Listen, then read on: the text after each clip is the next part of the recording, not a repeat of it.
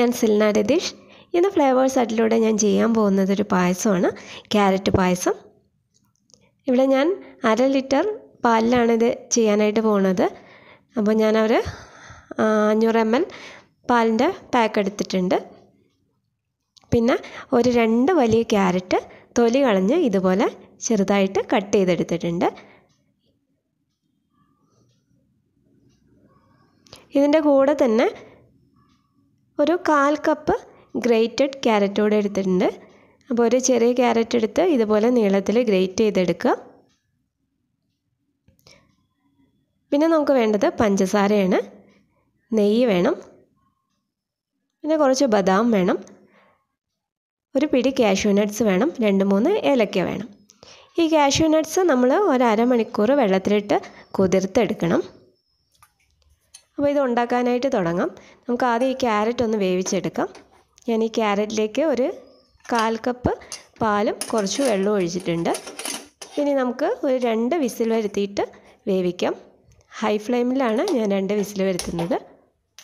Carrot വെന്ത് വരുമ്പോഴേക്ക് നമ്മൾ എടുത്തു വെച്ചിരിക്കുന്ന ബദാം ഒന്ന് നമുക്ക് ചെറുതായിട്ട് കട്ട് ചെയ്തെടുക്കാം. ഞാനിവിടെ ഒരു പത്ത് ബദാമാണ് എടുക്കുന്നത്. അത് ഇതുപോലെ ചെറുതായിട്ട് കട്ട് ചെയ്യാം.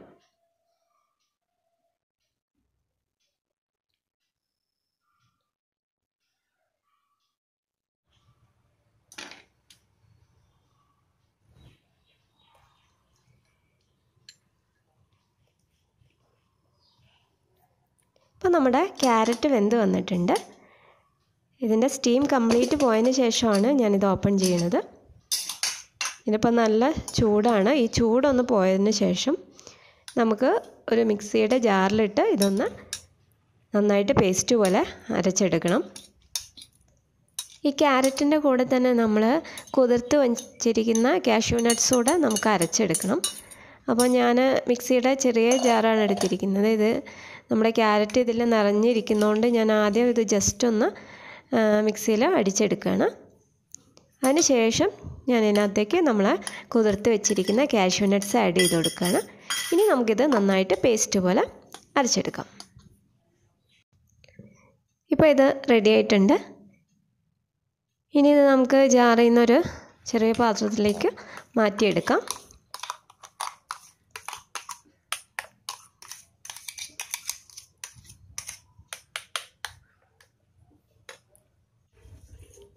ഇതേ സമയം ഇനി നമുക്ക് നമ്മുടെ പാൽ തിളപ്പിക്കാനായിട്ട് വെക്കാം.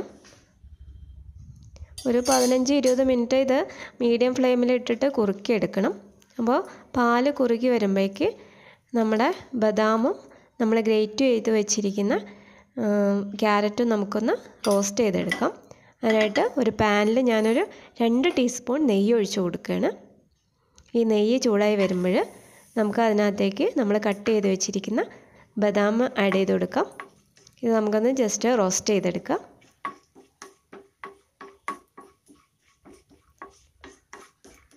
ഇതൊരു രണ്ട് മൂന്ന് മിനിറ്റ് ഒന്ന് റോസ്റ്റ് ചെയ്തതിന് ശേഷം നമുക്ക് ഇതിനകത്തേക്ക് ഗ്രേറ്റ് ചെയ്ത് വെച്ചിരിക്കുന്ന ക്യാരറ്റ് കൂടെ ആഡ് ചെയ്ത് കൊടുക്കാം. എന്നിട്ട് അതൊന്നുകൂടെ വഴറ്റിയെടുക്കാം.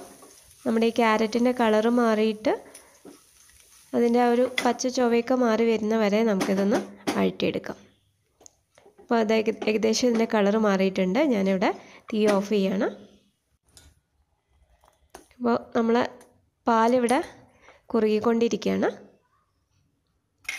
ഇതിനകത്തേക്ക് ഇപ്പോൾ നമുക്ക് കുറച്ച് പഞ്ചസാര ആഡ് ചെയ്ത് കൊടുക്കാം. ഞാനിവിടെ ആദ്യം ഒരു മൂന്ന് ടേബിൾ സ്പൂൺ പഞ്ചസാരയാണ് ആഡ് ചെയ്യണത്. മധുരം കുറവാണെന്ന് തോന്നുവാണെങ്കിൽ നമുക്ക് പിന്നീട് ആഡ് ചെയ്യാം.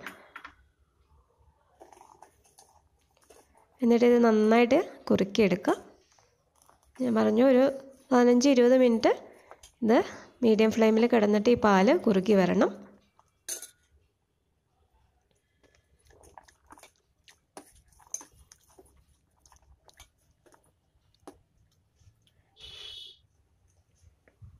ഇനി ഈ പാലിനകത്തേക്ക് നമ്മൾ അരച്ച് വെച്ചിരിക്കുന്ന ക്യാരറ്റിന്റെയും കാഷ്യൂ നട്ട്സിന്റെയും ആ മിക്സ് ആഡ് ചെയ്ത് കൊടുക്കാം.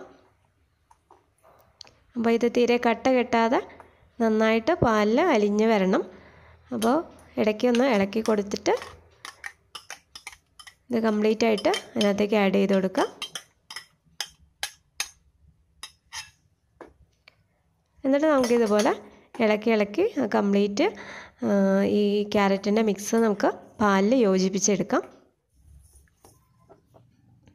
ഇപ്പോൾ റെഡി ആയിട്ടുണ്ട്. ഇനി നമുക്ക് ഒന്നുകൂടെ ഒന്ന് തിളച്ച് വരണം.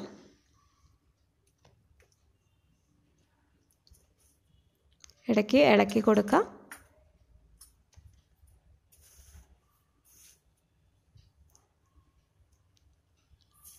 അപ്പോൾ എനിക്കിതിൽ കുറച്ച് മധുരം കുറവായിട്ട് തോന്നുന്നുണ്ട്. ഞാനൊരു രണ്ട് ടേബിൾ സ്പൂൺ പഞ്ചസാര കൂടി ഇപ്പോൾ ആഡ് ചെയ്ത് കൊടുക്കുന്നുണ്ട്.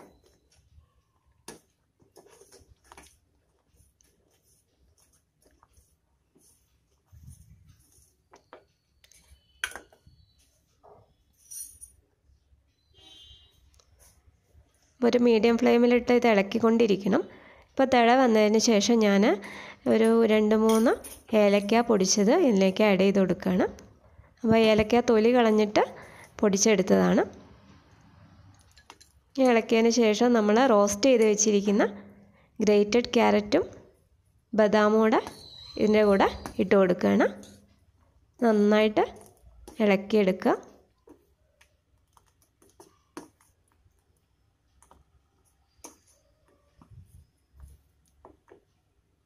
അപ്പോൾ നിങ്ങളിത് ഉണ്ടാക്കുമ്പോൾ ശ്രദ്ധിക്കുക ഇത് വല്ലാണ്ട് ടൈറ്റായി പോരുത്.